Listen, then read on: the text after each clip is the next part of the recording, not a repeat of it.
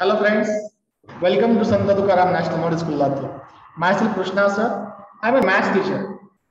In previous video we have learned, we have seen, we have learned about two different parts of circle that is center, radius and diameter. In today's video, we're going to learn, we're going to see new parts of circle which are there in front of you.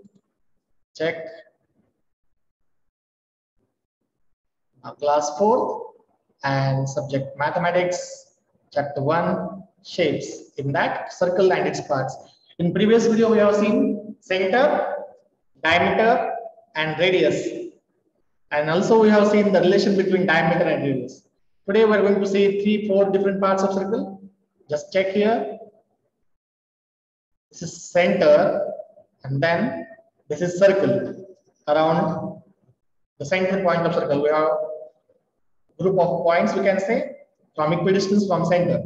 So place any two points on circle, one is as A, other one is as B.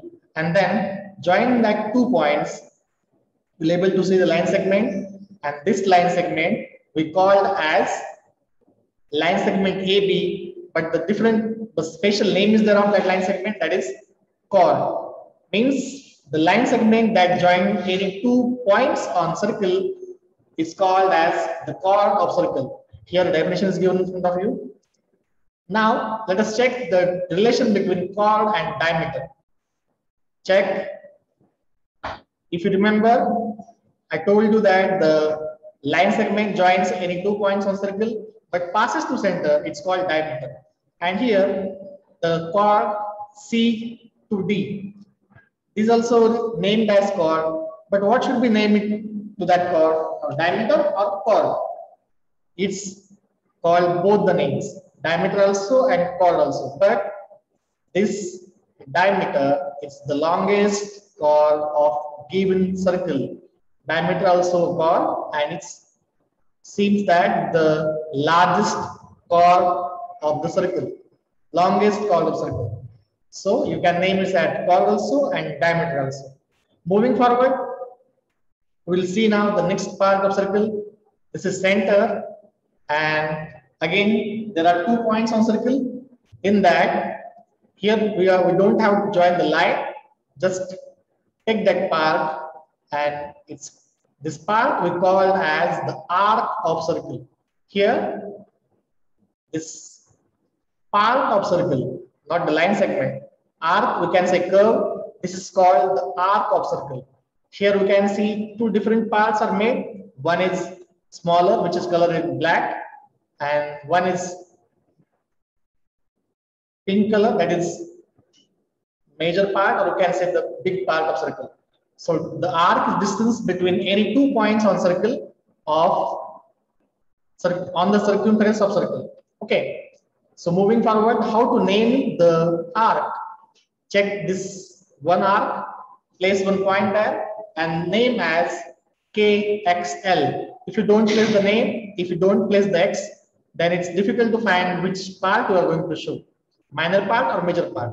So better to name like KXL and this is as I told you the minor arc. If you place this K to L and then place one point on this side of circle, it is shown that the major part of the arc, major part of circle, that is major arc, and it name as KYL, arc KYL. Moving forward, let us see the different part, last part of circle, that is semicircle. This chord you know from one point to other point we have joined and passes through center, it's called diameter. And the diameter divides the circles into two equal parts. That is equal parts, same parts. First one is DSE, half circle we can say, and other one is DRE, other half circle. It's called as semicircle. Now, half of circle is called semicircle and semicircle is also an arc of circle. Moving forward, what we have learned, we have learned radius, then diameter, then chord, arc, and semicircle. I hope you have understood this uh, parts of circle. Keep watching our videos and goodbye students. Have a nice day.